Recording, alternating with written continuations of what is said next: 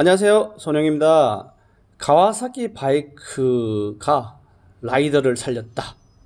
얘기가 무슨 얘기냐면 가와사키 바이크에 들어있는 IMU 센서 IMU 센서가 종축, 횡축 및 종축의 가속도, 롤 스피드 및 pitch 스피드가 측정이 되는데요.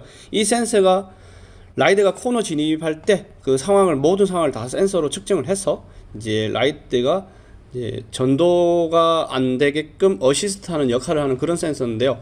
라이드가 국도를 아주 정상적인 속도로 잘 달리다가 커브길이 나왔는데 커브를 이제 원만하게 돌지 못하고 가드레일을 들이박으면서 이제 사고 장면이 나오는데요. 다행히도 가드레일을 들이박으면서 땅바닥에 내팽개치는 장면이 아닌 IMU 센서가 정상적으로 작동해서 라이더가 코너를 완전히 이탈하도록 도와주는 그런 역할을 하는 영상입니다.